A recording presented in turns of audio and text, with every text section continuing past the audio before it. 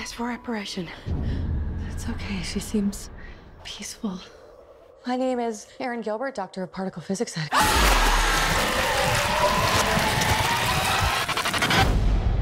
That stuff went everywhere, by the way, in every crack. Very hard to wash off.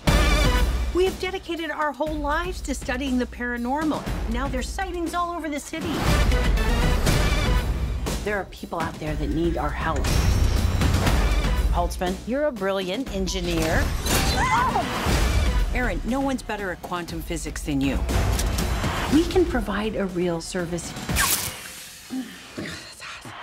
I'm joining the club. You guys are really smart about this science stuff, but I know New York. And I can borrow a car from my uncle. Uh, you didn't disclose that the vehicle was going to be a hearse. It's a Cadillac!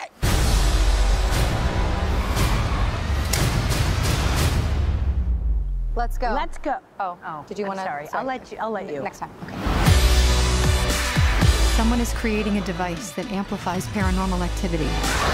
And we might be the only ones who can stop it. Holtzman, come on. The hat is too much, right? Is it the wig or the hat?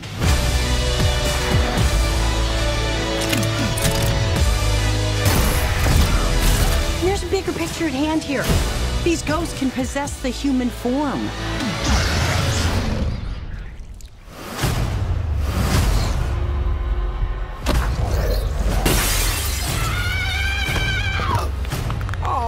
Oh, no, the devil is a liar! Get out of my friend, ghost!